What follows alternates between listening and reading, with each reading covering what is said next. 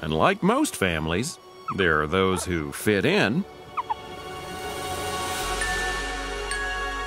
and those who don't. Little Timba. All he wants is to be included.